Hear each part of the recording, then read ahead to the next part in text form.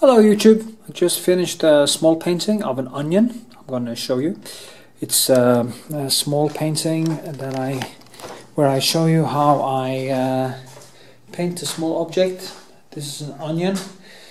I show you here with a frame on it also. And uh, it is quite yellow. I see the digital video has kind of problems with uh, getting my colors right but hopefully it's kind of useful for you anyway. And maybe I should change the lighting in here or something. Uh, that's the onion and uh, this is the result.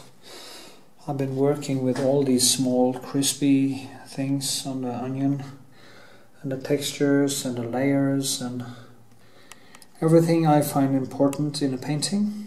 Uh, the paint. It was quite difficult actually because uh, the background and, uh, and the onion were quite similar. So I had some fight on my hands actually. Anyway, that's the result and um, yeah, you can see how I did it. it also became quite a long video I don't seem to be able to to um, stop. The first segment is of the full uh, full um, sketching process, so that might be interesting for you. Anyway, uh, I hope you uh, share my videos, subscribe to my channel. You can also donate a little bit if you find them helpful. Uh, I'm trying to build out my Patreon, so you can also become a patron if you like to do that. And uh, I might start streaming on YouTube, but I'll see what if I if I find time for it. Anyway, thanks for watching and have a good one. Hello YouTube, uh, it's me again. I'm gonna paint a small painting now. I'm gonna show you what I'm gonna do of uh, of this uh, onion. So I'm gonna teach you to paint an onion. Uh, I love painting onions, and there's a reason for that, and the reason is basically that they have all the textures and all the. It's almost like a painting before you actually start. I'm gonna paint it like square, and I'm gonna put it on this pedestal in a way, and this rock, this stone, this uh, brick and I'm gonna mold it into a small painting that is going to an exhibition in my hometown Karmøy Lines it's called Lines exhibition. It's a yearly thing. So I'm gonna paint this and yeah. Not try to make it too long. Uh, and show you how I mold it. I will start by um, doing the whole sketching process uh, in one go, and then I will um, uh, kind of make uh, just short, shorter burst of, of paint. So to show you how I evolve it into a finished painting, like the apple I painted. Um, yeah, as you can see, onions is like paintings. It has a nature if you look at things in nature, they uh, kind of look like paintings if you look at them closely, like leaves and in the autumn or stuff like that. My avocado plant is really starting to grow. Makes me happy. I love things that grow. So, okay, get ready for onion. Okie dokie dokie. Uh, ready for onion layer one. Am I standing in, in the way? Anyway, I have to turn it a little bit, I think, like this. Now the onion's over there, and uh, what I do as usual that I start just by I need to place it in this and uh, I just kind of do like this and I, I see what I want to have in it how big I want to have it and I just place the light. I want to keep it in the middle somewhere uh, I want a little bit of the rock but also it's also a good thing to have it a little bit under. So and there's this thing coming from the onion and down like this and here and something there. Goes around like this and like this so you don't want it to be too big on the canvas and you don't want it to be too small um, well, you can do whatever you want. If you want more space around it, more of the, you can do that. But I prefer to do it um, to focus on the onion in this one anyway. If it was a bigger canvas, I would actually focus more on the space around it, but that is not the case here. So what I do is I use a lot of uh, the onion is in the um, more reddish and yellowish uh,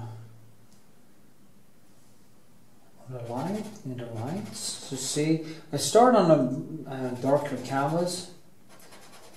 The canvas is covered with a thin layer with turpentine uh, with um, raw umber. I prefer to use um, Winsor Newton's raw umber for that because it has more a neutral color to neutral color. Uh, this is actually Old Holland and it is darker a little bit more against the red. The Winsor Newton is more against the green. And for some reason I like to start but I haven't got any more left. I used to use uh, Newton colors a lot but then I moved on to mostly using uh, Old Holland because I had this thick clay-like uh, texture or thickness reminds me of clay. Probably said that a gazillion times by now. But that's how I like to do it. Yeah.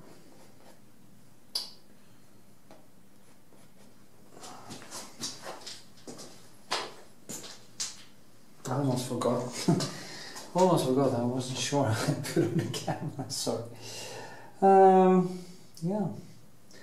I really love doing these small paintings because it is very good training and you get a result quite quite fast compared to the bigger paintings and uh, the prices aren't too high so uh, people can afford buying them.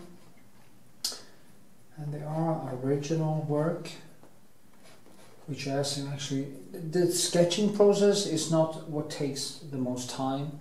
But actually the molding process when I go deeper into the textures. So I can actually make quite a good uh, sketch in 20 20 minutes half hour maybe sometimes an hour this may take a little bit longer I don't know.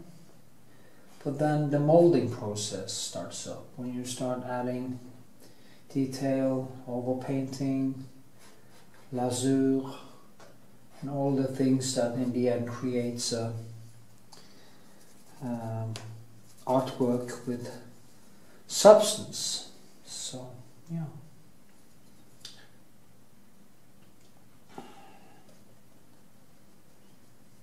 and creating art or painting is actually trying transferring your subjectivity onto a canvas. I can see I did a little bit of mistake, should be a little bit more over there. And I just keep actually adjusting everything through the whole painting process.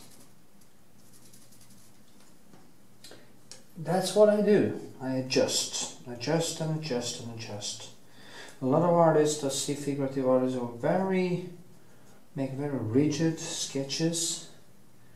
Like they use a lot of time on getting the uh, drawing right. I like just to kind of delve into it and correct it as I go along.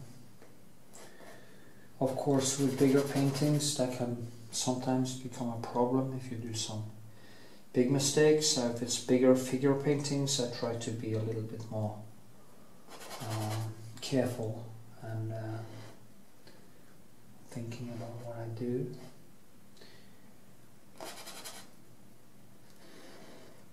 It's actually seven in the morning.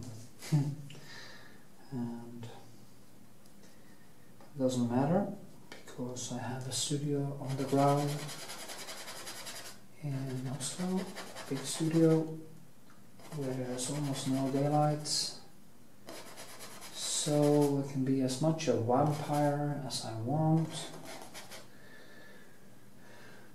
Uh, you see now. Maybe concentrate a little bit. Not talk too much.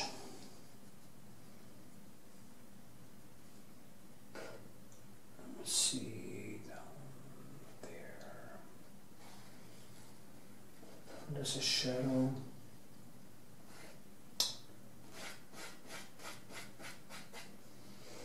Mm -hmm.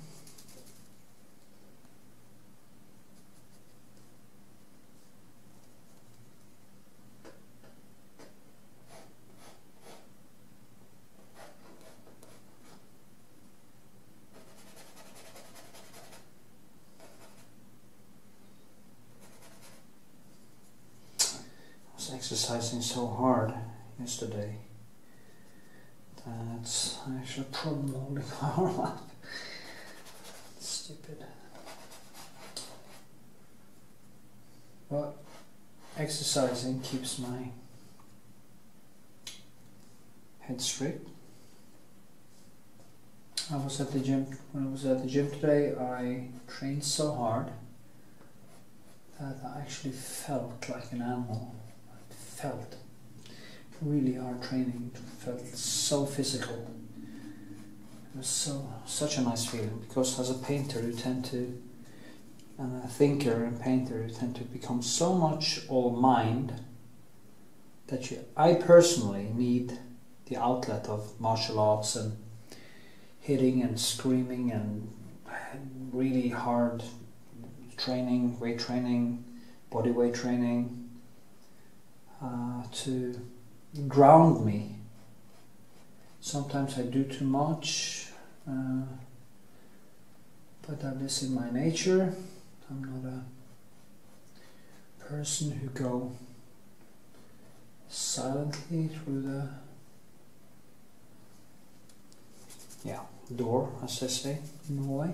I tend to go extreme. So I think that also tend to come out in my paintings that I never able to be content or it's always one more thing that has to be done. But that's how I am so just have to live with it.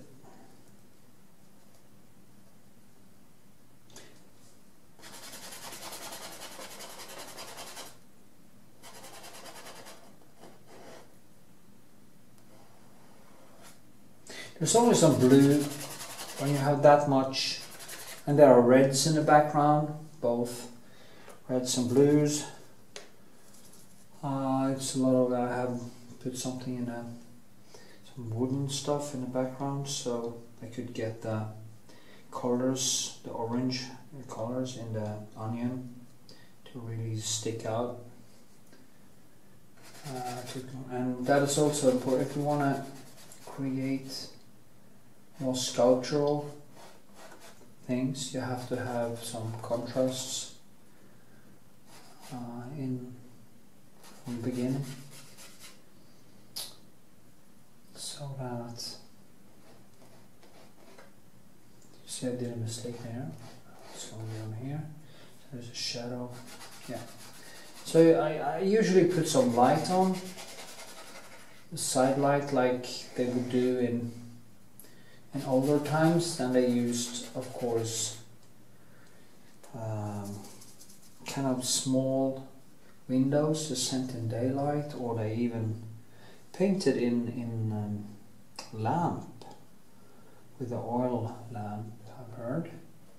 I don't know what's true or not here but anyway they created some kind of spotlight with mirrors and um,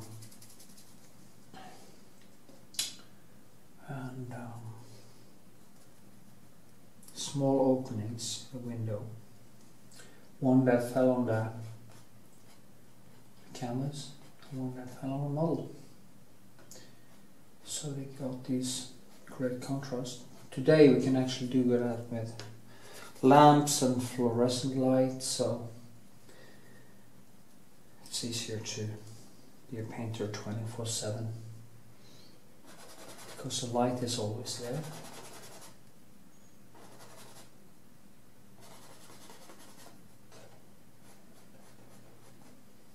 So, start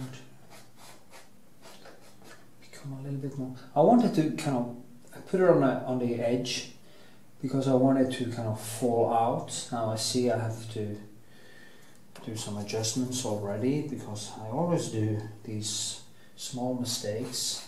But the good thing about oil paint is that you can also always overpaint, overpaint and um, uh, just keep going.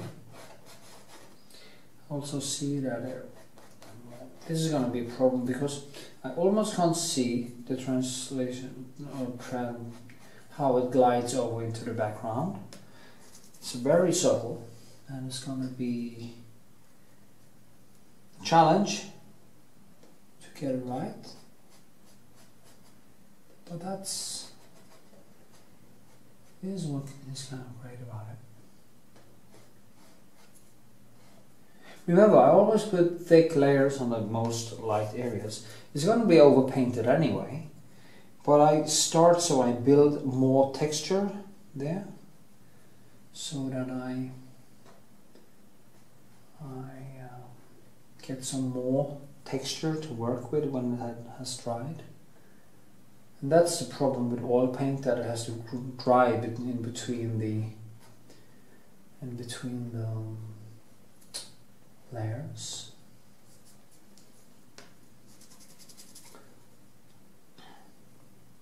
But you can use siccative, you can kind of hang it over an oven so it will dry a little bit faster. If you want to keep, if you're not going to paint for a few days and you want to keep the the color on the palette uh, so it's not drying, there are a couple of ways you can do that. You can put the whole palette into the fridge or you can take the colors you haven't used onto a mirror and put it into the fridge and then take it out. Because in a fridge they, they not fridge but um, refrigerator, sorry uh, you don't want to freeze it. Uh, they will, it will slow down the drying process quite significantly. So it can actually keep. But the goal should always be to paint so much that the color actually never dries on your palette. That should be the goal of a painter. That you just paint and you move after a palette has become very dirty, you just take the colors and move on to another palette and you just keep on working every day. And that is why I have a lot of different palettes. I have big ones, I have small ones, smaller ones for, for very detail when I want to be a real surgeon. I use a small palette with small piece of color to get into it. That's all usually in the end the process. Um, and if I'm doing big uh, surfaces, I have a huge palette. So, and as you see, I'm using these. Um, they are um, svinebust. are boar uh, here, or whatever you call it. It's, what, I don't remember now. It's called boar, like pig, pig brushes. Can't remember right now. Um, so, see how I start to shape it. You have that onion shell or skull, as it's called in Norwegian. And you can also shape it by okay.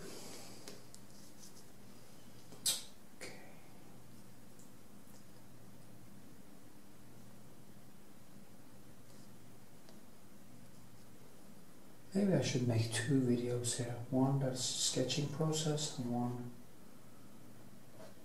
or should I put it into one?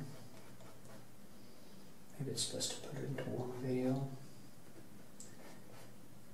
Like a two hour video as usual. mm. My YouTube channel isn't that much, hasn't that many views, but I think I have a captive audience who really look forward to the next video. And I kind of earn a dollar or a half a day on it, so it's not much. So if you feel the urge to support me, you can donate a little bit. That would really make me happy.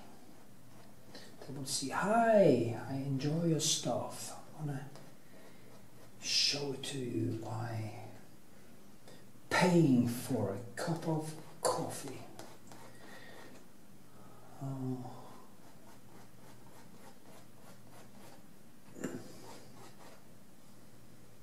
Yeah, starts to look like an onion. It really makes me happy to know that people get something out of it, and uh, I do not mean that people should donate if they don't like to. I just say it's an option. Uh, I take pleasure from teaching others. I take pleasure from uh, uh, the comments and uh, the mails I get and um, stuff like that. I know it's my contribution to maybe make the world a little bit of a better place. I mean, people who do create a work tend to be a little bit more thoughtful. Mm. It's a good thing. Well, Adolf Hitler was a, an exception to that rule, I guess. But so, what do you think? Does it start to look like an onion? See how much time I've spent now. Oh, 20 minutes to create an onion. Let me see. Um, it will stop in a while and then it takes a little bit more time when I'm talking. Maybe I should just shut the fuck up and do this. Um, talk one. Actually, something to say. Let's see. Problem is that I always have something to say. I'm also going to paint a yellow rose, a dried rose. Maybe I should make a video of that one too, just for fun. Just to show you how I paint a rose. Maybe I should just make a video for every single painting I make.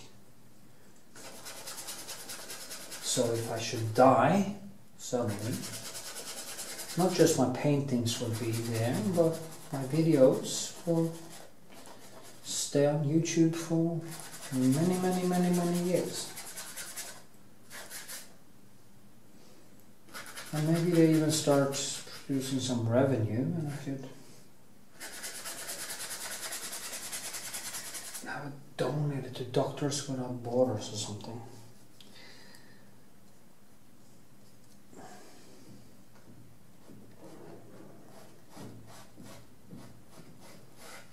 Don't you see? I really enjoy this work. It is right now anyway because because the sketching process is always so dynamic. It is it is a uh, form of mind dance. My brain are just firing and I'm getting hyperactive and and subdued in a way since I'm been very happy from painting. So if you have some issues with depression or or bad things happen to you in your life, you feel lonely or stuff like that, find yourself a creative hobby and also combine it with healthy food and training. Preferably martial arts is very good. It's like dance or dance, yeah, dance is very good. When we were younger, I would actually, when I was 36, I wondered about become starting with dance, and I went to the Bårdar Academy in Oslo. I was thinking about starting up because I have been doing karate and taekwondo. I've been doing karate for many years and I have been doing taekwondo for many years. But then I never went back and I regret it now because kind of late in the afternoon and I got some inflammatory shit in my hip which is actually getting better. But I went from being flexible as a ballet dancer to stiff as an old man in almost no time at all. I'm breaking it up now by just doing yoga and stretching and building up my muscle mass in my feet.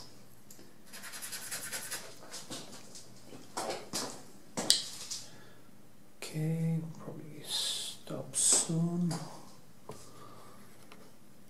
I do hope that you get something out of this, because I sure so do.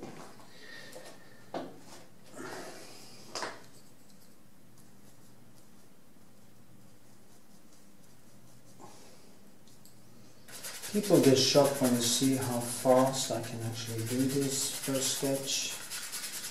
But it is that's also why it's so easy for me to see how much time people actually have used on a on a on a painting. I've seen a lot of nice sketches in my time, but I also find it kind of annoying that some people are hiding behind.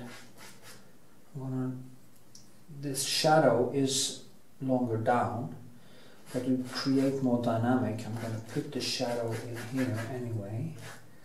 And the shadow of this that is actually longer down to get a more get some more room into it. Yeah, um, a sketch painting will never be a finished painting for me. I can appreciate uh, appreciate a nice sketch because there are a lot of uh, interesting things happening in the first layers but to just stop there and never keep going is to me not enough Uh, I want to see um, it grow. I want to see. I know what's the greatest challenges is, and um, that's what I want to see in finished artwork. I want to see skill. I want to see difficulty. I want to see the artist who really going into his work and pushing his limits. Uh, yeah, that's what I want to see. So I'm gonna just pause for a second. I need some coffee because it's early in the morning. And then I will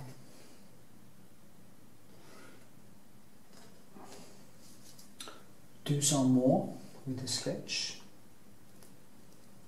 So the sketching process will approximately take an hour, 40 minutes, 50 minutes at all to make this very rough first sketch.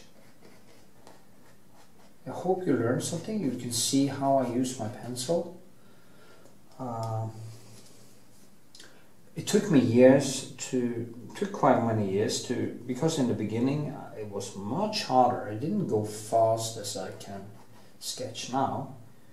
It took much more time to make a good sketch, and my sketches were more more figurative because. But then I had problems actually finishing them. The sketches was usually better than the finished paintings. And actually, sometimes I wonder if that is also happening now, but I will keep on stretching for perfection.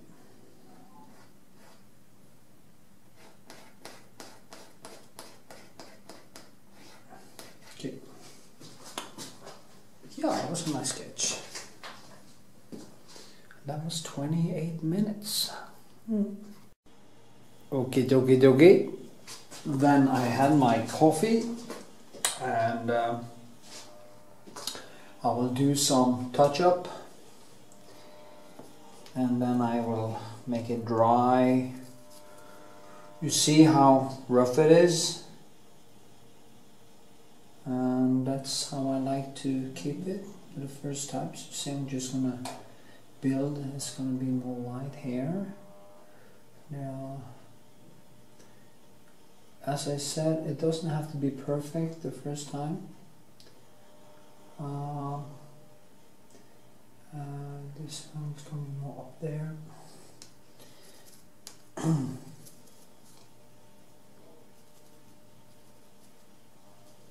Keep it loose.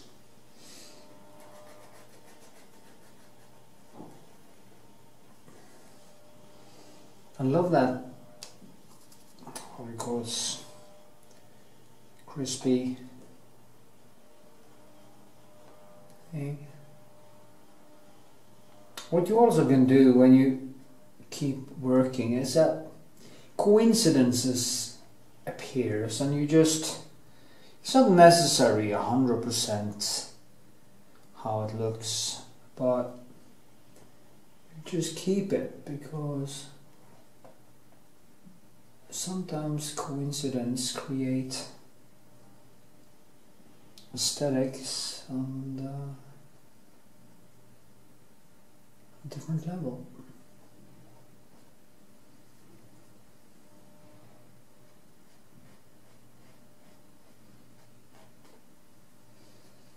Mm-hmm.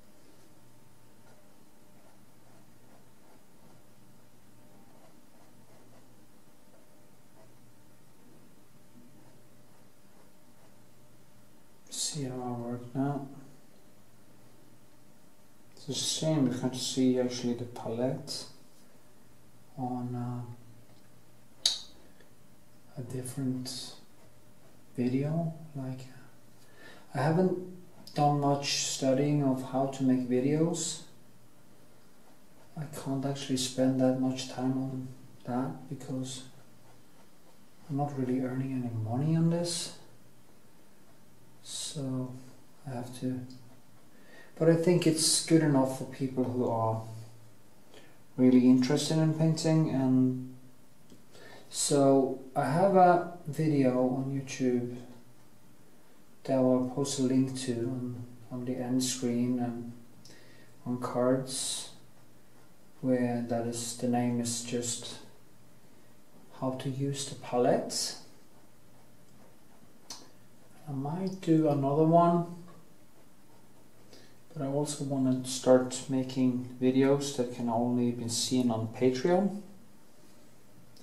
So for patrons I want to try to build up that. Maybe make this into some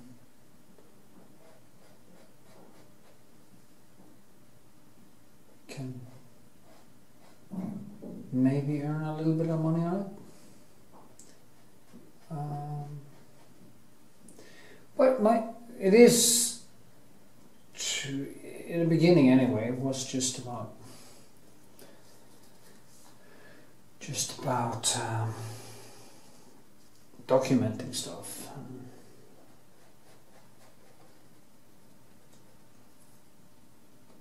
And I guess can't really get more rich on this. Anyway, uh, Patreon. It's funny. You want to have a lot of views on Twitter or stuff. Get naked, shake your ass, be a girl with a big butt. Thousands, so much porn, so much useless information entertainment. Try to make more content that has some some um, bring with it some positive stuff, not just stupid entertainment. Believe me, I'm nothing against girls with big butts, but uh, it is a shame that it's that gets the most attention because there's so much great stuff out there on the internet. Science, uh, philosophy, painters, art, all kinds of documentaries about the world, history, and what gets the most views is just the most simplistic, stupid shit, and it's so sad that we're living in a world where people prefer stupid shit And not things that can actually give them something. I've come to a point where I can't even see more like bad TV series because I feel so empty after seeing an episode that I feel like I'm hungover. And the more I, the, the deeper I have become, the harder it is for me to not be in touch with myself. And uh, going to the movies or being drowned in bad entertainment just feels horrible. It actually, I can actually feel a depression coming while after I've seen something that isn't good. Like I, I started to watching this series called The Designated Survivor or something like that, and so bad. But it kind of they've made it in the same way as 24, and it's the same guy playing, and is also is addictive because a lot of shit is happening, so it's kind of turns off your brain. But then, and that's why it's so addictive because when it turned off, you always wants to see more, and it's just bullshit. It's just fucking bullshit. Political correct bullshit. And I just stopped watching it. I think I saw five episodes or something. And I just decided to quit because when I saw one episode after painting or something like that, I just felt horrible. I felt alone. I felt like I didn't have any contact with myself anymore. And I just don't want to do it anymore. So,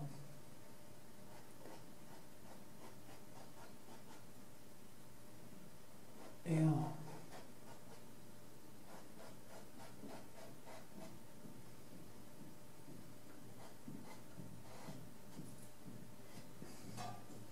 See now, starting to grow, start to become something.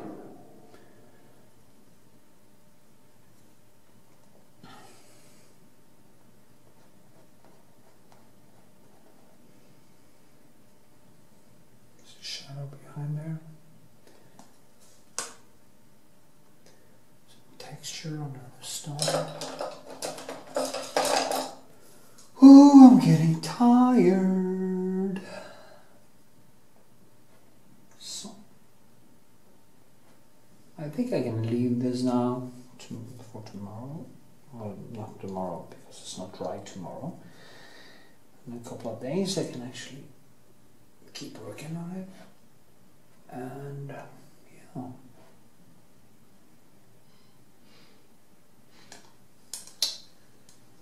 Maybe I'll also put in.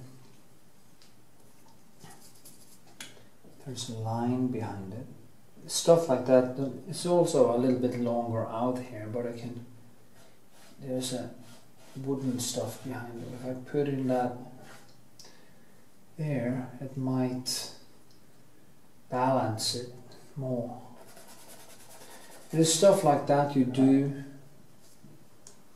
Um, to create a more static because this one this line can actually weigh up for that. And to weigh it even more up I would just go in and make this one a little bit longer so I can drag it a little bit over there. That's a little bit too much. Let's see. That is the kind of stuff you start seeing when you have been painting for many years. You start seeing things more immediate.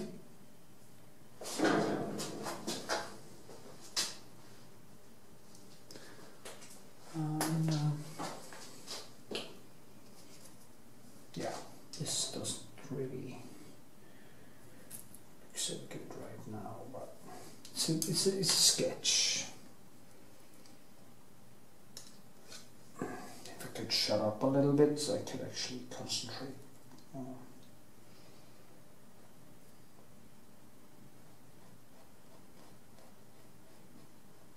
Remember the colors you see on the video? Oh, sad to say, not completely true compared to reality. For some reason, the camera doesn't pick up the colors exactly as they are. But it's also something I just have to live with, I guess. So,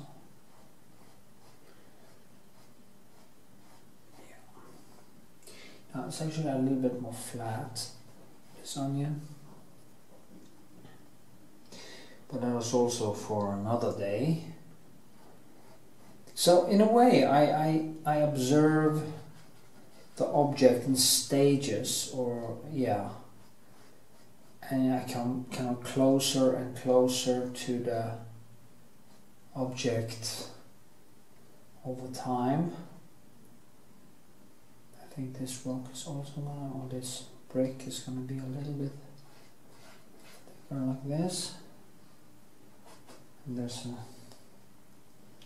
quite clear shadow behind here. Anyway, I'm gonna basically just stop now soon if I can if I if I manage to tear myself away from it um,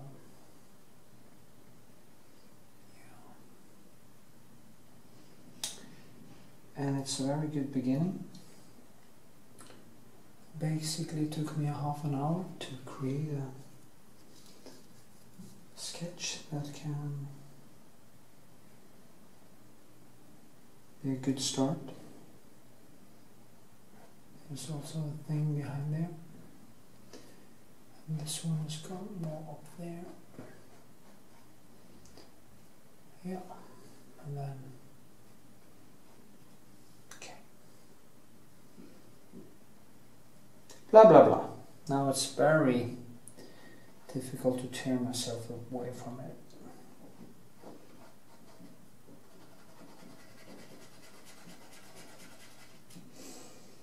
Mm-hmm.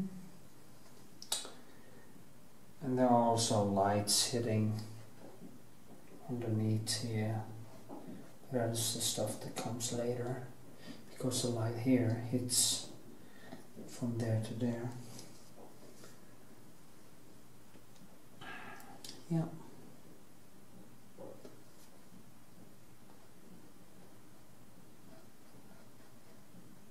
So, we are. And, yeah, maybe. -hmm. Now I start to see better. Now I see that this one it's gonna be a little bit more or is it this one all this is this one gonna be a little bit more there or this one maybe it's a little bit more over there. So like this.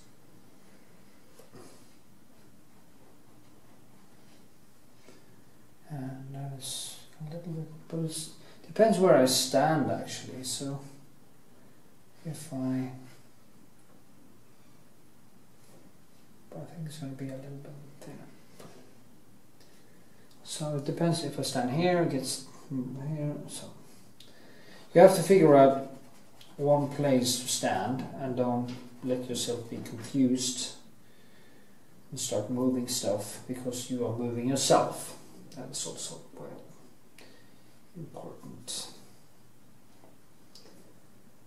Yeah, I'm starting to fuck it up because I'm tired and I have quit seeing a long time ago. Anyway, until next time, then I will put on Lasur with um, retusche vernis and keep painting. Just a little bit more.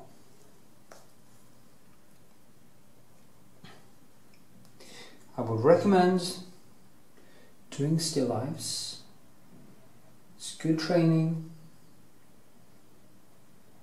and can be quite liberating. Yeah, that was better.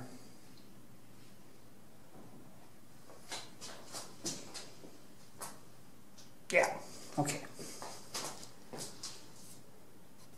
40 minutes. Now, 50 minutes. See, uh, focus. Okay.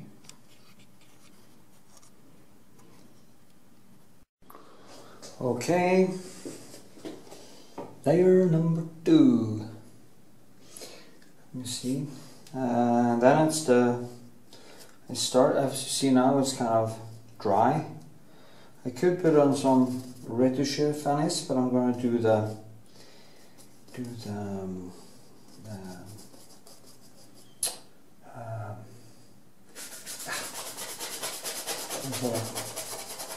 well, I put on put on um, this blue reddish thing to get some of the textures as you have seen me do before. You see how the textures now from the from um, uh, brush strokes are coming. You see that? And there's some oil, but it's mostly turpentine. It's only 30% oil and 70% uh, turpentine. So it tend to not be too um, oily. And when I do this, I actually don't have to put any oil into the color either because uh, the oil is already on the canvas. And I just scrape off the excess. Yeah, see here now. Doesn't matter at this point. Is it kind of loose now for some reason? I don't know why. I guess I have to straighten that up a little bit before I start because it's not nice to have this loose.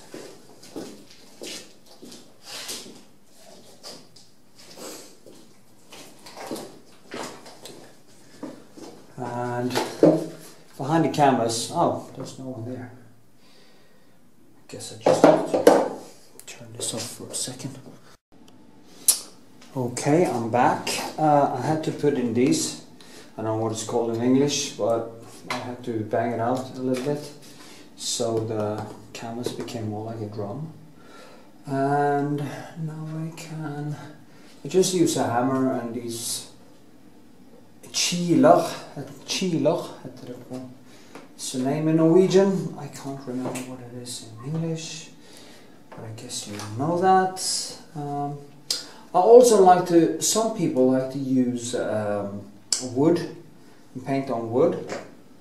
Uh, put uh, gesso and primers and stuff like that on wood. Personally, I prefer canvas and that is because when you paint on it, it actually moves a little bit. It uh, gives you uh, some kind of uh, more more dynamic response to your brush. But it also can't be too loose because then you start losing uh, control. So anyway uh, that's what I do. And now it is layer number two. And hopefully you will enjoy it. I'm not going to make this video into uh, three hour thing.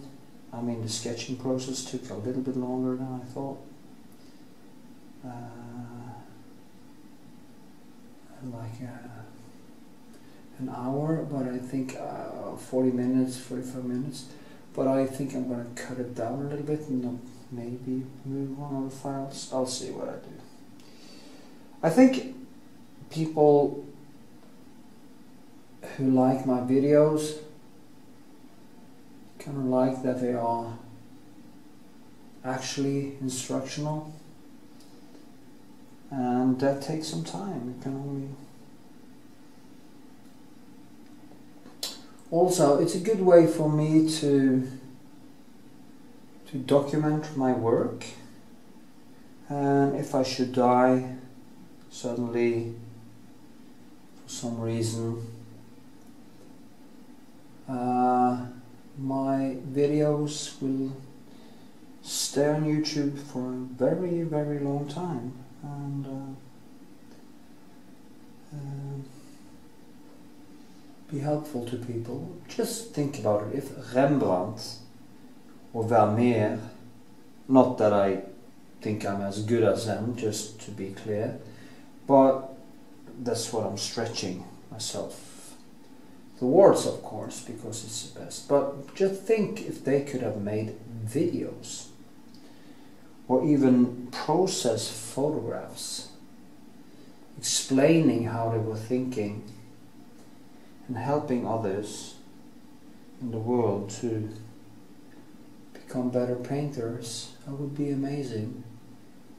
And that is what YouTube and stuff like that gives us. It gives us a, a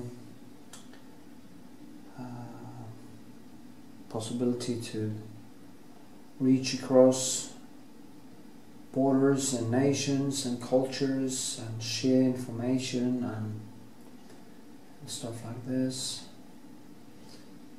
Um, a very sweet girl in Iraq actually became a atheist just by watching my videos and listen to the lectures of Sam Harris and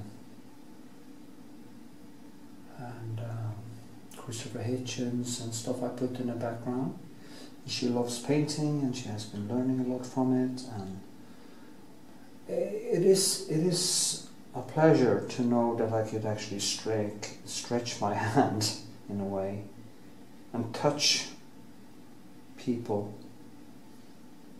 in other parts of the world and uh, contribute to make their lives better. That's a nice thought. So, despite that I don't earn any money on this, it is a nice thing thing to know that I touch people all over the world. So, my YouTube channel is growing slowly but steadily. And in like 200 years, I'd probably be able to make a living of it. yeah.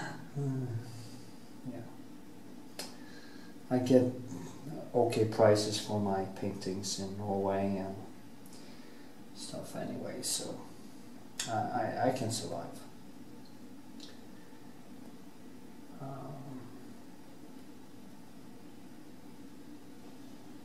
Actually, if I lived in the poor parts of the world, I could live of it. Basically, almost anyway. Because most of the people in the world are actually living on basically a dollar a day or half a dollar a day or maybe even worse. So, but Norway is a very rich country, but it's also very expensive to live here because of the oil and are not many people. So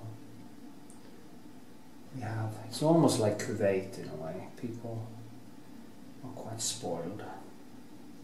And they want more, more, more.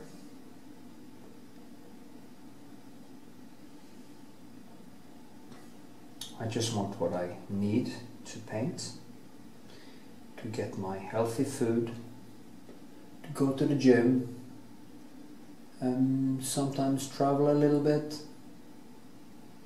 And if I really save up some money, buy myself a Rolex once in a while. oh God. Anyway, back to the painting. You see now, I'm just starting to build out in the light areas first. And yeah. Uh, my arm is still hurting. Gee, I should take a pause from the strength training uh, for a few days, a week maybe, and just stretch. Um, okay, you see, I, I just start, and I now it's a slower process because I need to focus the the light, uh, the places that is actually more light, and then when I start uh, building on top of that again, it becomes even more texture here, and then you just keep on piling on and the differences in, in uh, relief uh, in the painting will become bigger and bigger, the more over layers or over paints I have. And that's how I create the illusion of uh, 3D reality in a painting. You can also do it with neons like uh, Holbein, Holberg, these old figurative painters who didn't actually use so much so much uh, texture but they do lack the punch they do like that uh, sense of reality uh, that I find so attractive in um, Rembrandt's work and in some of the best of um, of um, Johannes Vermeer. You can also see how Turner has built his landscapes in the same traditional relief kind of way. And that is kind of how you have to think when you are trying to create a good piece of painting. Now, what is a good piece of art is a totally different discussion because, you know, in arts there are no, no really objective rules. Uh, it's more up to the galleries and the people that has the power in the art world to decide what is good or bad art. And they can take anything and make it into gold but my project, my thing, is uh, for my own sake, for my own sanity, try to become a good painter. I don't really care if people are saying it's good art or not, as long as it is a good painting and it has that aesthetic dimension that I'm I'm in love with in the traditional art. So, and I think if it becomes aesthetic enough, good enough, honest enough, real enough, it will it will be poetry and aesthetics aesthetics and to me that is enough that is when i'm looking at a piece of art I always look first for skill. Then, if I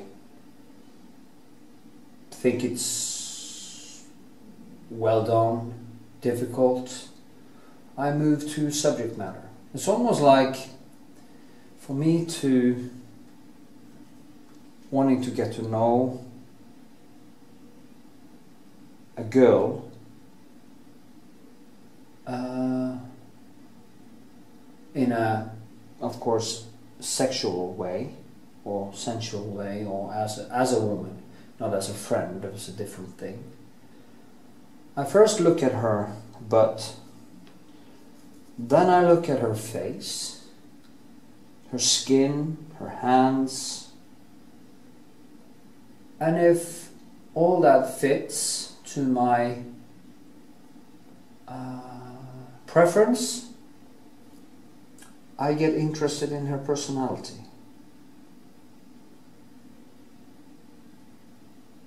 Uh, yeah, and it's kind of the same thing with paintings.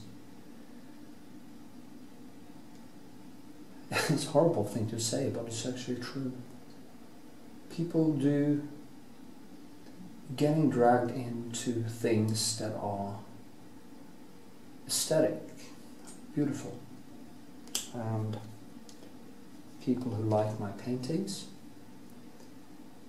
are liking them because they feel, as they tell me, they feel real, they feel honest, like the skill, and uh, that drives them in. And that is what my customers pay for. So, and I will do my best to make it as good as possible. it is only a certain type of uh, art and it is the art based on aesthetic principles and skill that I'm interested in. I really don't care about conceptual art. It is just not my thing. Anyway, now you see I'm starting to build and I will keep on building for a while and then I'll put the camera on. I'm gonna start forming these things, forming, putting down the. Also, you can have a sketchy background or you can make it a background who feels like it's there. And in this one, I'm going to make a background that is both in ways in the background but also going to feel like it's there. So I'm also going to work with the textures in the background. Anyway, yeah, blah blah blah. Yay. Uh, I have been doing a lot of shit. I've been working with this now for way too long. And I didn't really get anywhere because I did some mistakes. I uh, for some reason I started to make everything bigger and that is always a mistake. I actually didn't concentrate so the onion kept growing literally on the canvas and I I had to walk back the cat and make it smaller again. And um, that is very time consuming if you don't concentrate and get it right. Where the fuck is my pencil?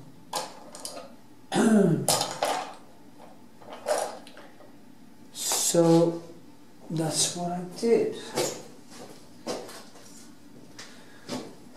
So, but now it kind of started to.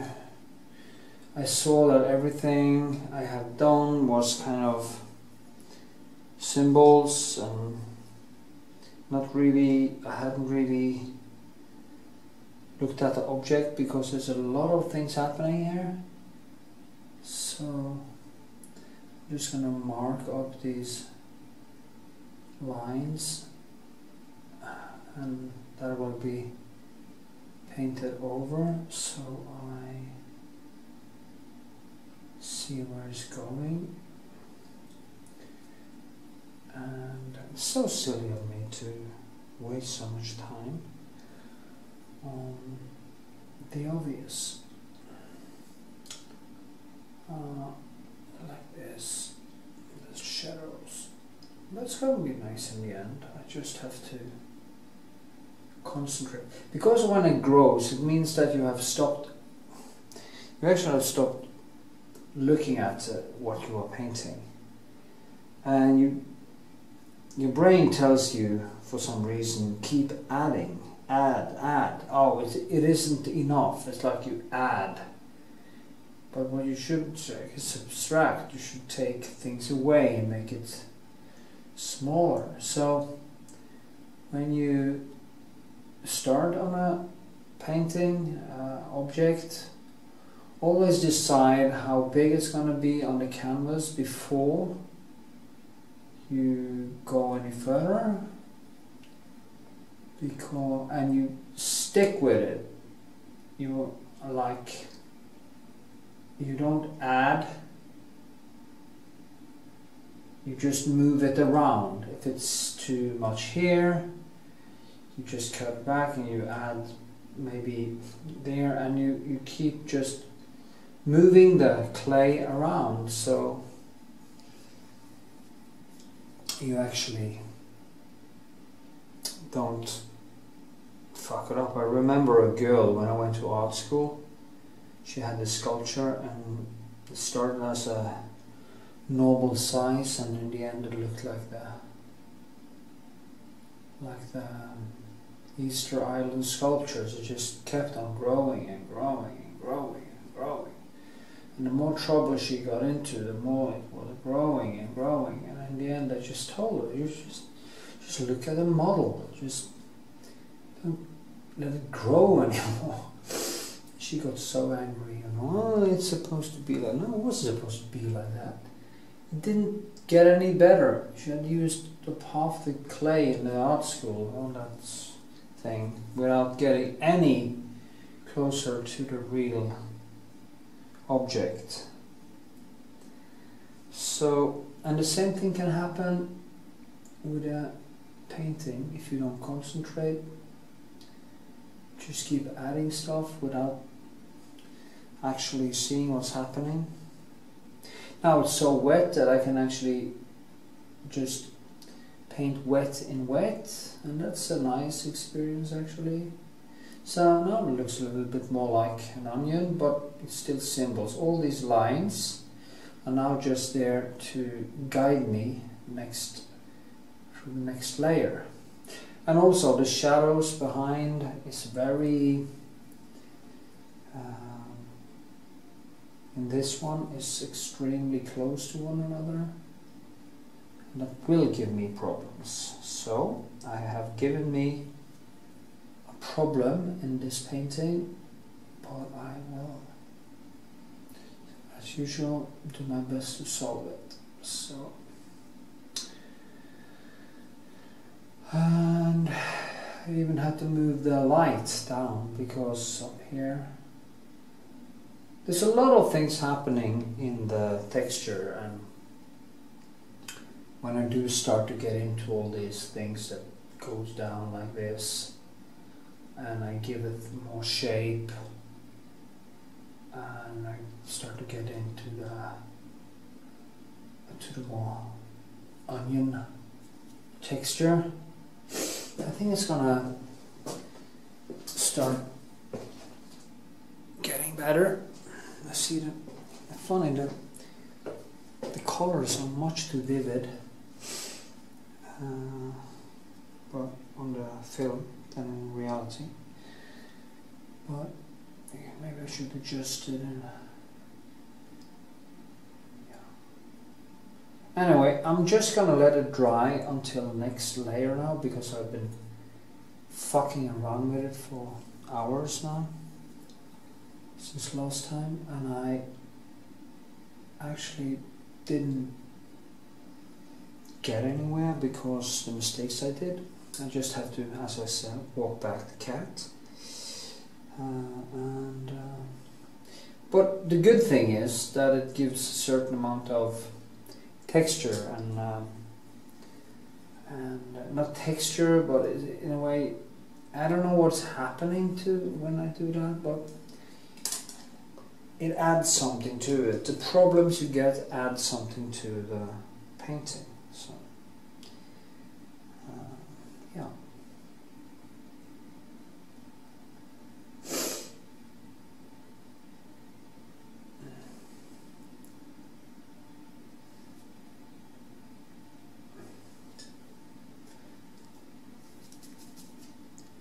So,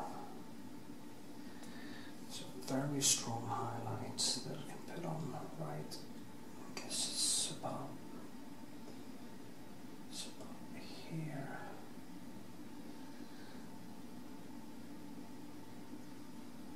and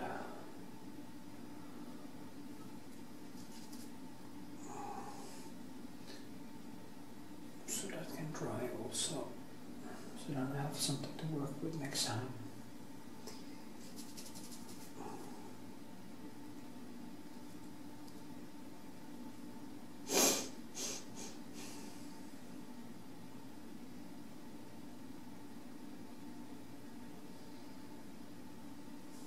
Actually, it's further down.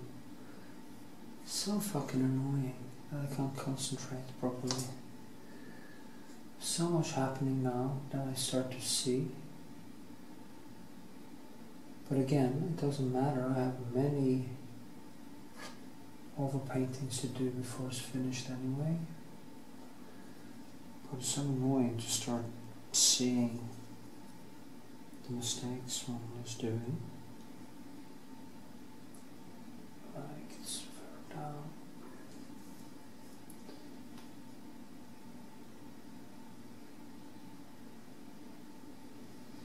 Sincerely hope you learned something from this.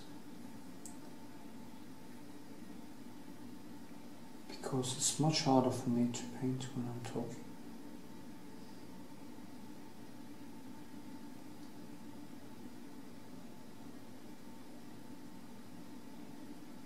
Yeah, that was better.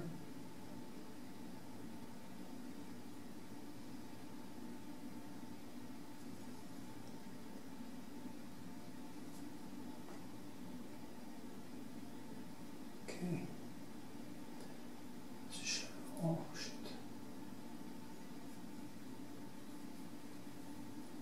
There's a greenish shadow up there. Um, I need to something with the lighting inside this my workspace because it tends to be too vivid on the videos. See, and there will also be lights under there, but it can't be. It's so easy to trick the brain into believing that things are lighter than they are. That there's a very strong red red color. It looks very strong, but it isn't. It's underneath here, and it's also under here because not red but yellow. Yellow and red because the light from the stone is thrown up like this, and I tend to misinterpret it as much brighter, but when you squint your eyes or do like, like this, you can actually see that is when it comes to the amount of strength in the light, it is very, very deep, but it pops out because of the things around it is much more So, okay, I'm just gonna leave it at this and let it dry and then make it better next time. Okie dokie dokie. Yeah, okay. Okay, so before I start on a new layer, I it has now dried for a few days and uh, I just put on this retouché vernis so I can actually see what I'm doing.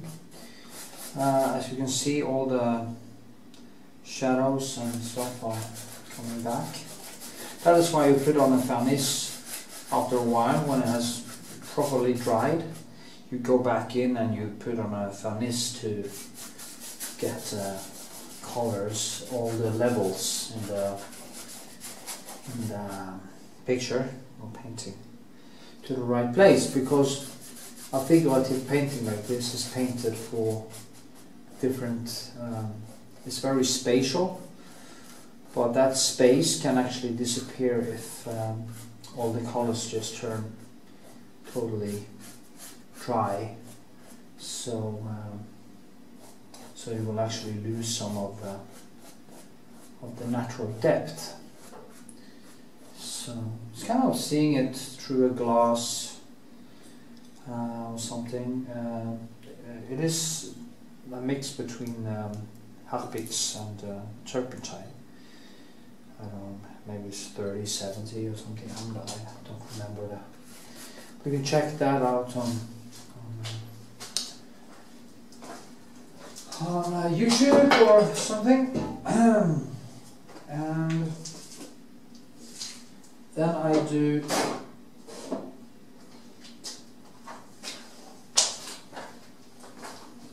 usually I would let this dry a little bit but it dries pretty quickly So I'll just then take some some um, some of the blue and um,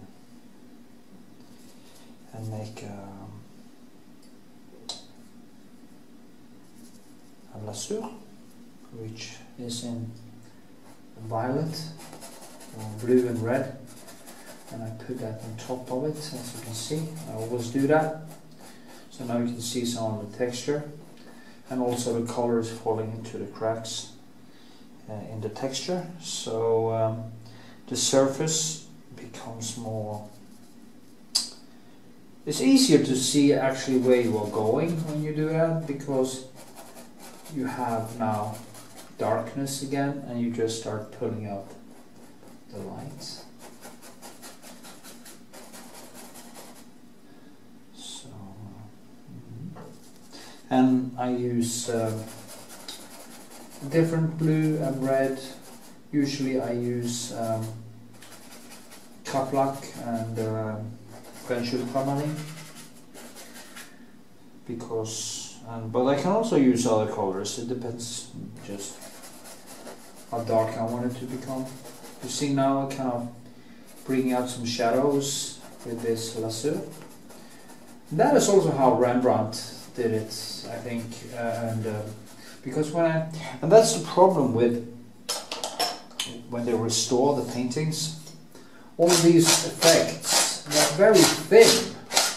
So it must be very hard for the, the guys who are uh, now, who are fixing the old paintings to know what is dirt and what is actually color and pigment. Because now I go in and I scratch up some of the light again I remove the excess oil and color which then puts there and I take that away. And you kind of get a more dynamic surface. Then I take uh, start with a I always start usually I start with light because your brain will always drag you towards the light. Uh, like if you meet a person, uh, the first thing you try to notice is the face and facial, facial, and and in an object you also go for what is the most important. I mean, if you so to get a good start, I always start with the light. And now I just work myself from there again. Like I did in the first place, you know, the first sketch, I do the same thing. And I keep on repeating these things over and over again until I feel that it is that it has some well, has this uh, right texture or the right color. And now I can also, when I do that, I, I, I get full effect of of the lasur and the colors underneath. So I kind of just start to. Now I'm more careful in what I'm doing uh, because I'm going into the process of the last finishing layers, maybe three layers, this one and two more until it's finished or can be viewed as finished. finished is a very relative concept so it's very hard to know when to stop and sometimes you just go too far and you have to let it dry again and then you go back to it and keep working. And yeah. And now you see these have been now down to also get this back on track and go for the this is the um,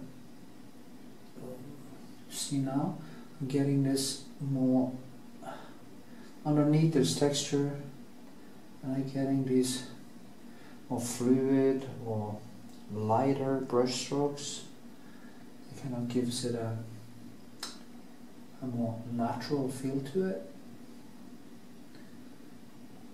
So this is why I call uh, paint actually clay because um, that's how I think when I paint.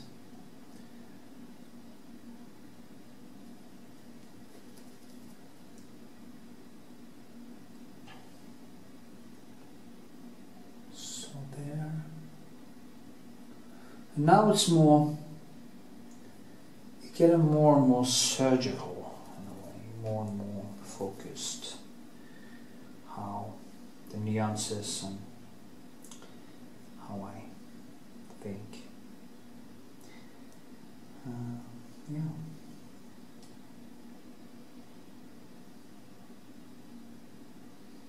Also changed a few things. I actually fell down to the floor, the whole onion, so different things were,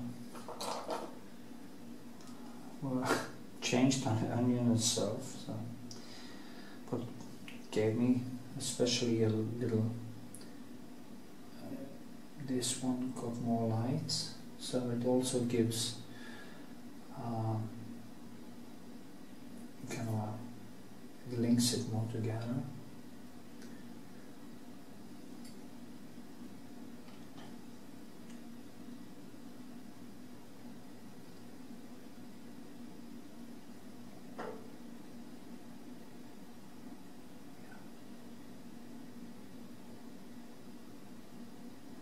It's starting to be more meditative, med- meditative. Um,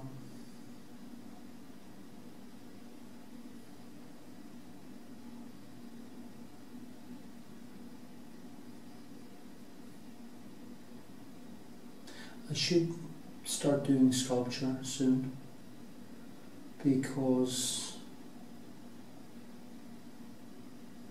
it will make me connect even better.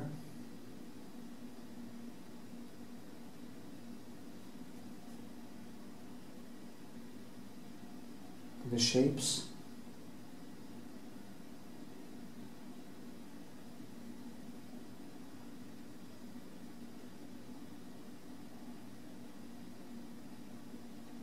So, sometimes you put on strategic brush strokes, strokes that explains a shape somewhere, like uh, there's a you know like this, and it kind of explains the, the motion. It also creates a little bit of dynamic. So you don't want to want to brush everything out so the brush strokes disappear. You want it to to live, to kind of yeah, to, to be a little bit alive. And to get it to be a little bit alive you need some diversity in brush strokes and directions and all kinds of stuff. So see now I do like this. And it's a little bit too light too much light in it. So then I take some blue and I drag it into the color and it comes a little bit grayer. Not gray but, uh, but a secondary third color and falls back in again. And the deeper you go more you paint go into different shapes within this and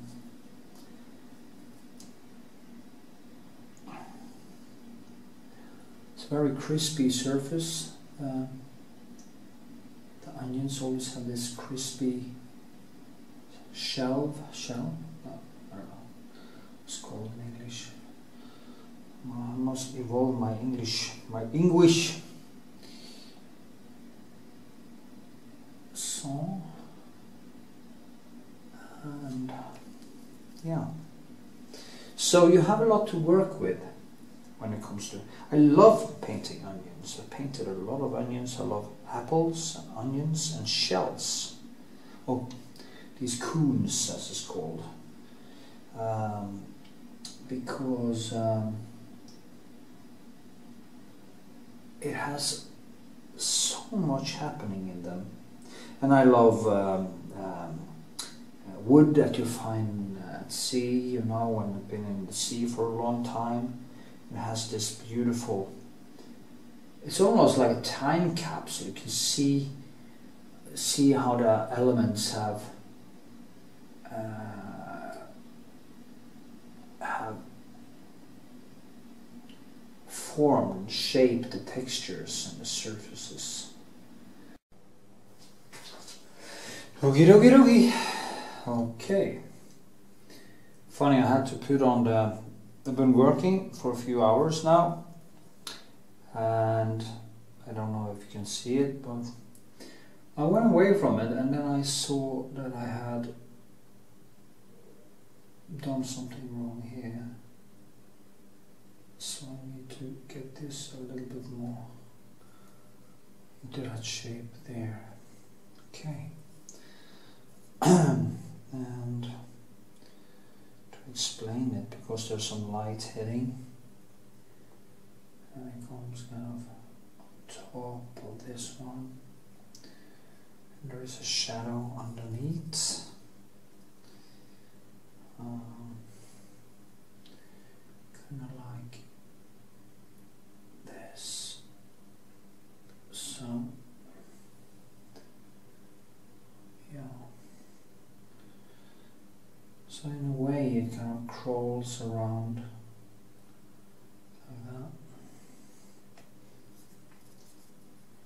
that. And then, to enhance that, I can put on some more reddish here. So, so there's something under there.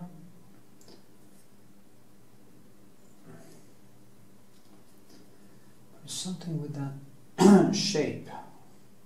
Now I'm getting into the the more deeper concentration to find the right shape and it's so important to not overdo it because it can be lost in a second. You do you lose concentration and you put on some more too much white or or don't think enough and it's lost and you want to scream like Gollum and the Lord of Rings lost lost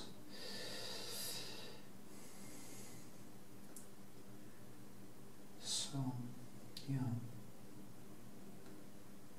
Be careful. Observe.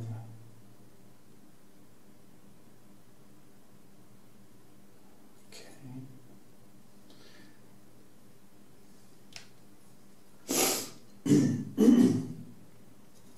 there will be a couple of more over paint. So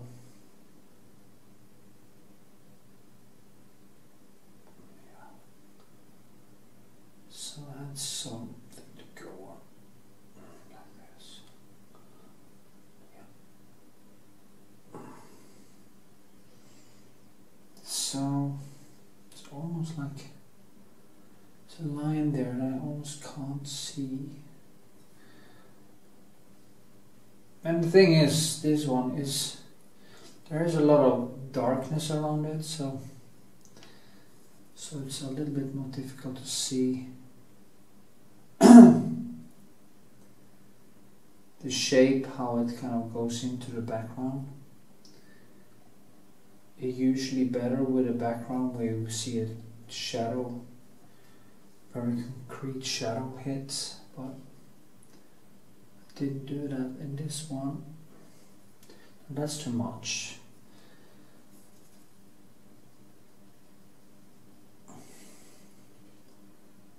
okay.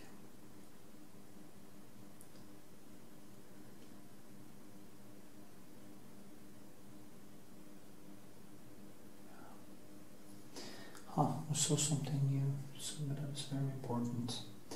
Actually, I need to go up here and in like this.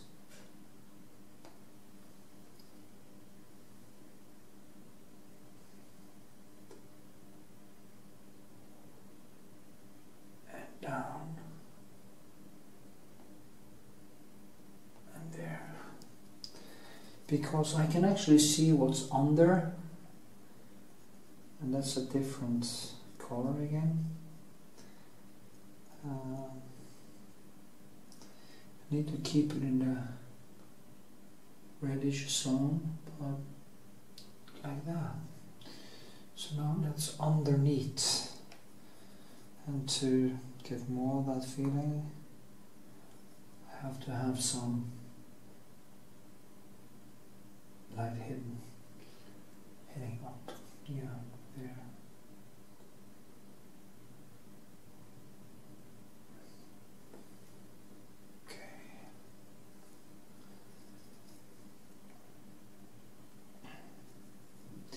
So that's why the things take time and can be quite exhausting actually. Because you see something new, the deeper you go, the more you see, and the more you have to give to it. That is why I can do a sketch as you did see in quite a short while. But finishing them takes hours upon hours upon hours. Days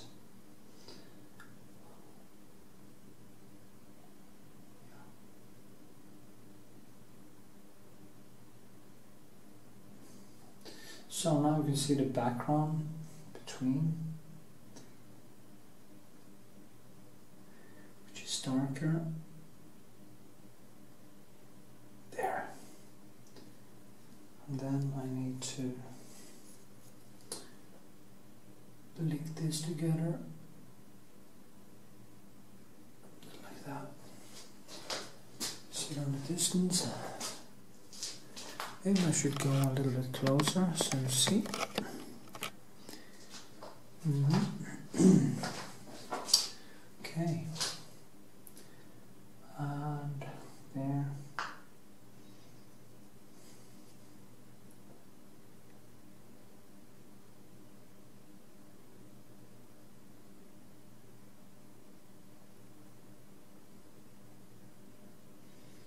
I do get like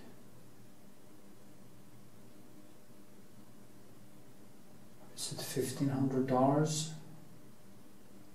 for a painting like this? It's not so bad, but it takes time and you have framing and everything, so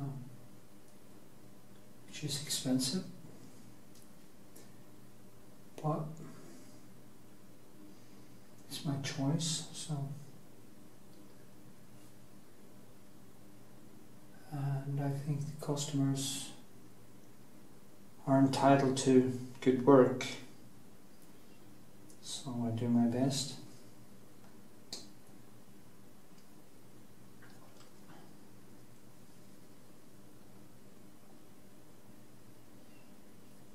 There's a girl I know who asked a question on Twitter today why she should bother working so hard. And so few did the hard parts. Why why not just be content with the more mediocre stuff? And I said that is. Why do anything at all? I mean what's what's the point no, you have to go all the way. So I sent her a video called All the Way of Charles Bukowski, which is on YouTube. It's called All the Way. Go all the way, and it's so true. And, uh, she snapped out of it and realized that the art is in the deeper you can go, the more art it becomes. Anyway, and it's objectively true because because um,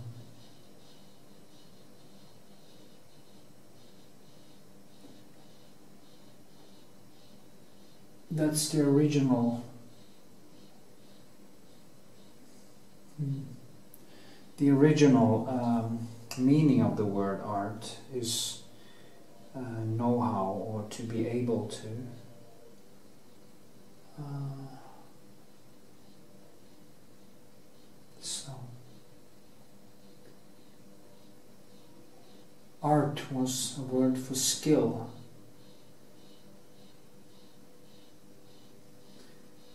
Maybe I should play that Bukowski for you.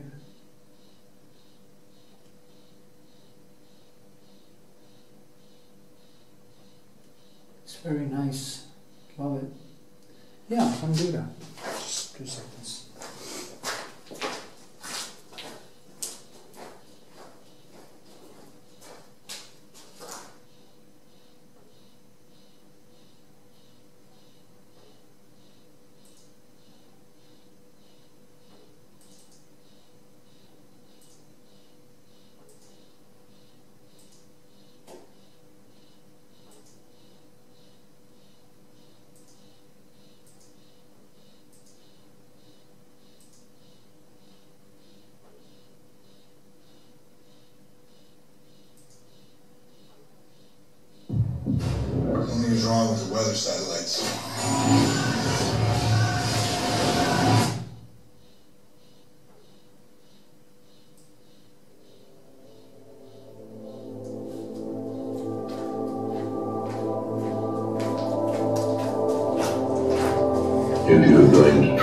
Listen to this. go all the way.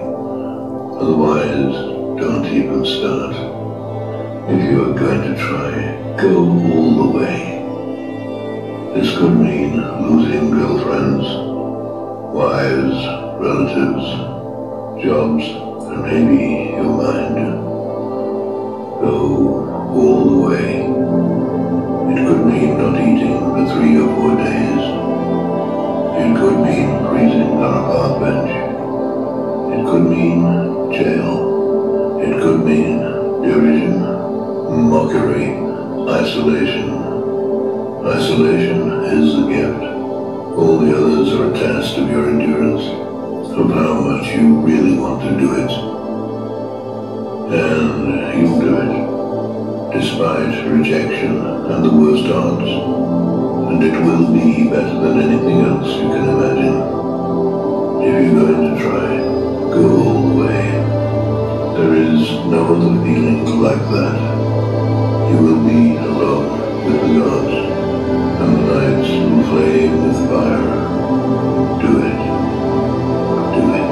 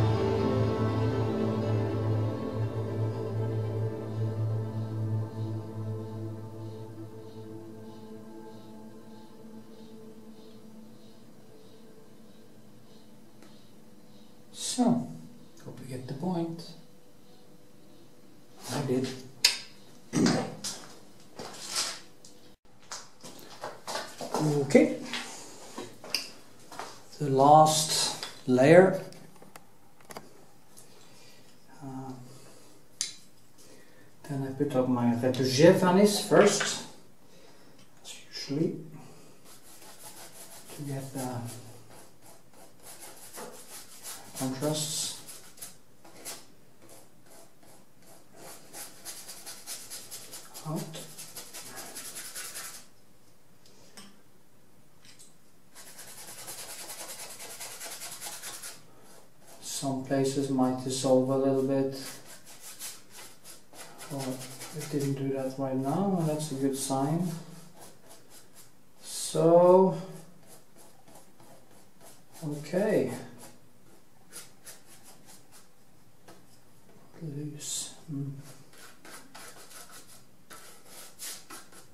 So, this is only going to be a touch up.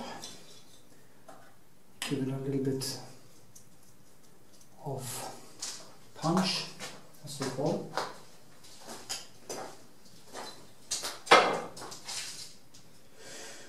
So, hmm.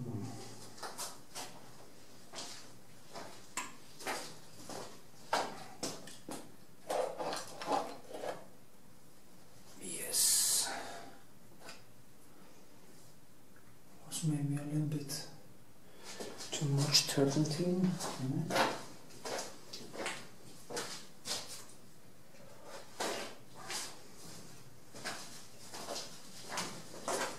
So I will do this. See it kind of isn't all dry, but it's almost so it's okay. To find the right the right brushes.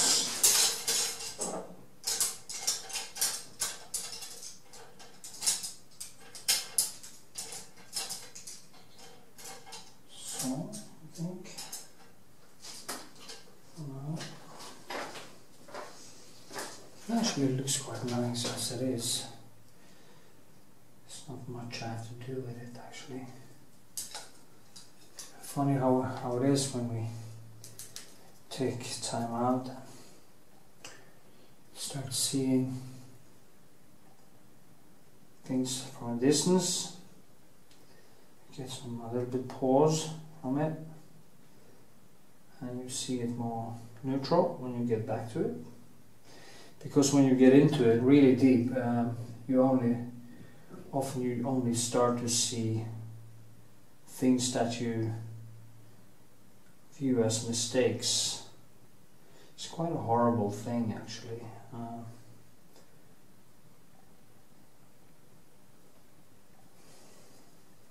maybe more I don't know what I need there.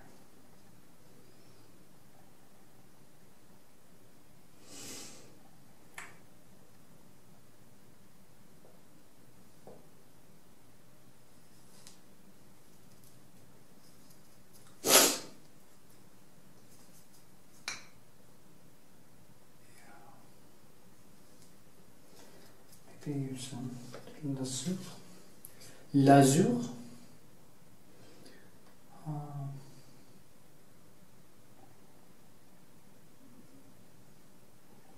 Some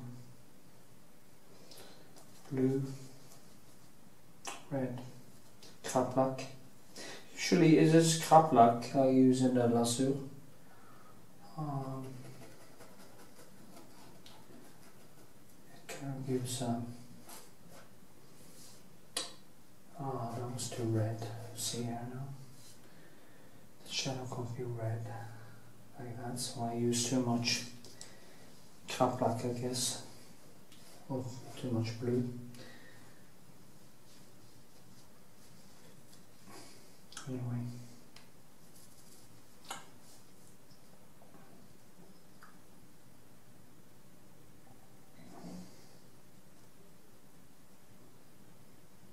There's only one thing you have to do when you paint like this. You have to have a lot of patience. Take your time.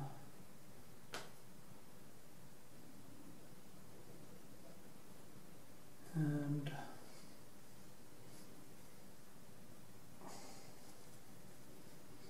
make sure you actually look at what you're painting. Just gonna flatten out this thing. There comes a shadow down there on that. It's kind of a uh, piece of there's a brick, but it's a brick uh, isn't orange. It's in a different scale. So yeah.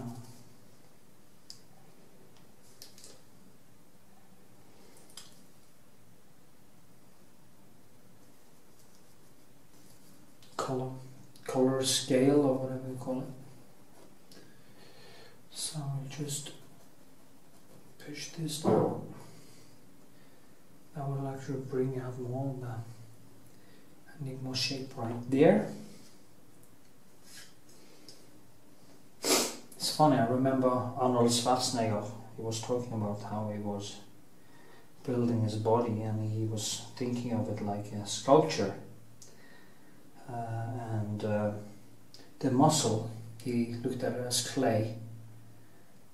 And if he saw he needed some more muscle or clay to balance the sculpture on one side he went into the gym and he built up more muscle like a painter will like me now put on more color or even reduce muscle um, to balance the scale. And that's also how you should think when you paint like this, anyway. You think about, see I probably said it a million times now, but think, at, think about the color as clay. And um, will be. And you take time, you use many layers. On this it's like four layers, it's not than four, this is the last one. Four, five, I could actually maybe, I actually have to leave to my exhibition tomorrow with these small, some a few paintings, so I actually don't have any more time on it. I might have gone deeper if I had more time, but that is how it is really with all my paintings, that there's also a dimension of time that tend to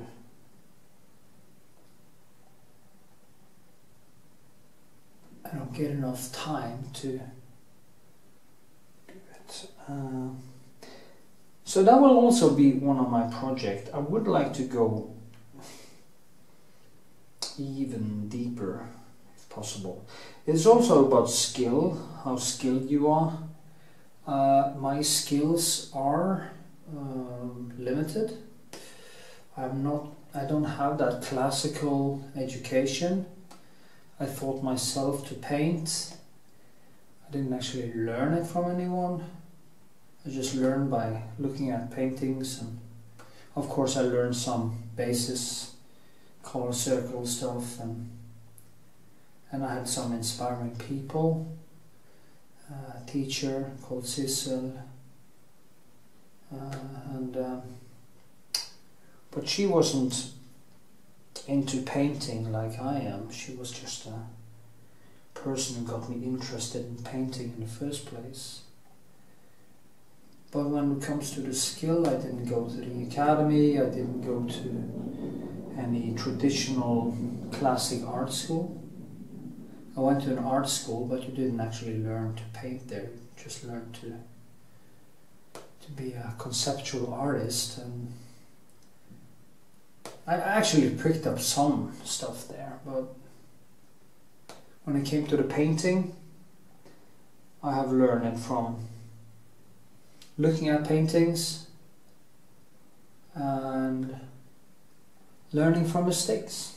The funny thing is that when I looked at paintings in the beginning, they always looked very sculpture, sculptural, or a lot of room in them. But when you see most paintings uh, in galleries, they actually are more flat than you see in uh, than you see in um, the magazines because of when you make a you know the the um, the camera selects out colors and gives it more room or, or more depth and stuff because you also reduce the size so I thought that paintings were like that so I tried to paint things with that room that I saw in the pictures. And I think that is one of the reasons why my paint paintings tend to become very three dimensional like things objects are falling out of the of the canvas. Um, Rembrandt has some of that. And uh, yeah. It's just a hypothesis I have. It's not even a theory because it's hard to prove it, but I kind of feel like that is one of the reasons.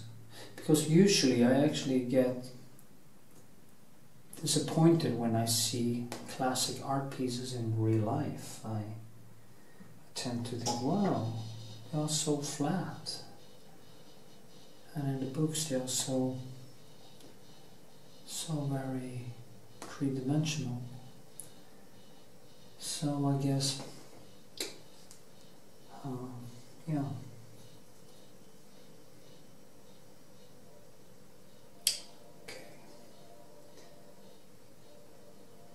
but I think I evolved my own style in a way because I didn't actually learn it from someone. And I it's like I've said to a couple of people that I had some had as not students but which I've thought to paint a little bit. It isn't I can't teach them. I can teach them a little bit of how to think but I can't paint for them and to evolve a skill you can't do it by talking, you have to do it by painting. You can't talk about texture and color for six months and then suddenly you start painting like Rembrandt. it's not how it works. You have to do the work and you have to fail and uh, learn from your failures. If you have somebody who is constantly telling you what to do, you will start looking so much like that person that you don't have your own print into it, fingerprint. And that would be, that is sad, you know, it's like, it's like these Chinese kids who's playing the piano. Brilliant, yeah, really brilliant. But they're not virtuosos because they have been thought everything from some professor. But of course, if you have the skill and you have the open, you have an open mind, and you are self-critical, honest, uh, you can manage to take it further. Honesty is extremely important. Keep your feet on the ground and let the best art or the best science or the best things that people have done keep you fixated, grounded to keep you grounded, like let it be your gravity, so you don't fly out in this uh, horrible, self righteous bullshit that many artists actually do, where they in the end think that they are saving the world with their paintings and believe that they are half, almost half gods in a way. Um,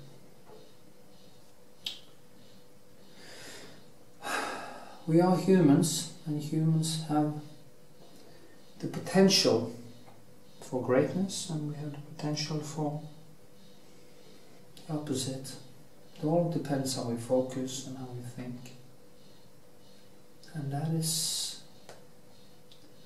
my view on things.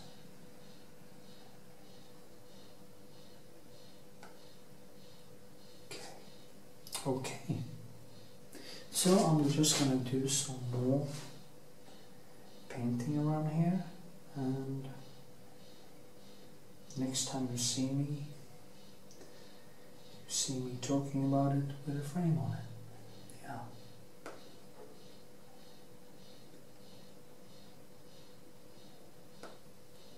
see. It's so difficult. Oh, to see. What is too much? Does it steal anything? It doesn't steal anything from the depth in the onion. And so I'm gonna have to keep it down.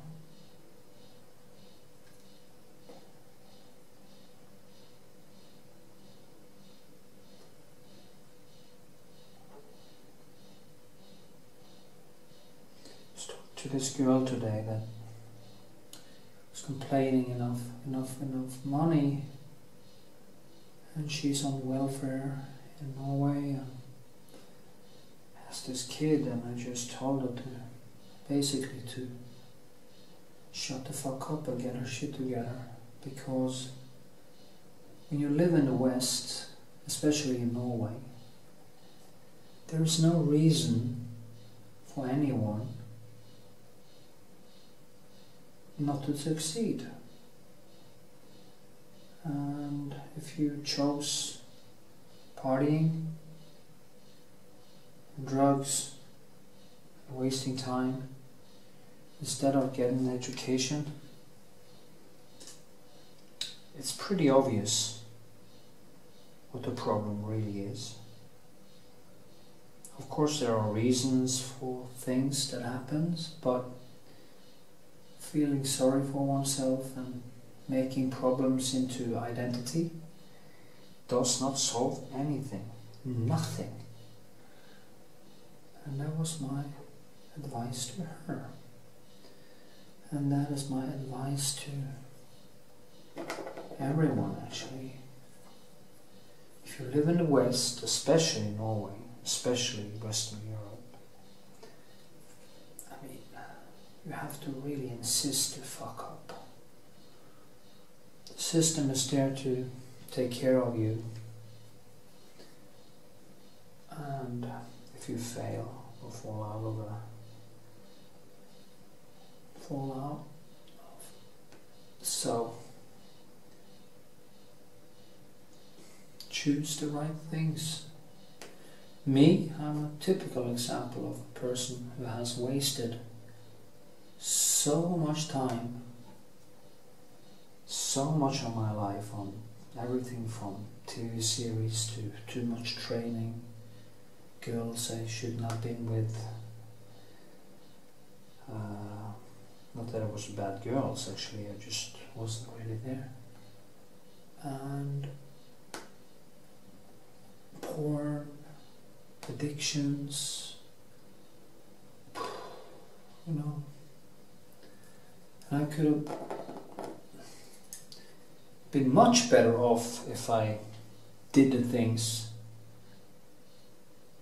that I told myself I was going to do in my diaries. But it became better than I thought like 15 years ago. And now I feel like I'm finally become a grown up. At least a little.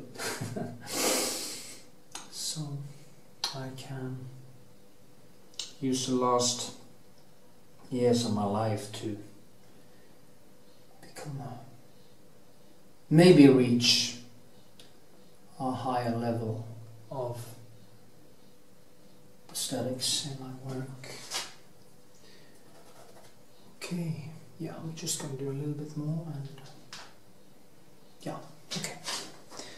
Thanks for watching. Okay, welcome to the end of the video. Here you can see the finished result. Uh, if you'd like to support my channel, please go to my Patreon and sign up for a dollar or five.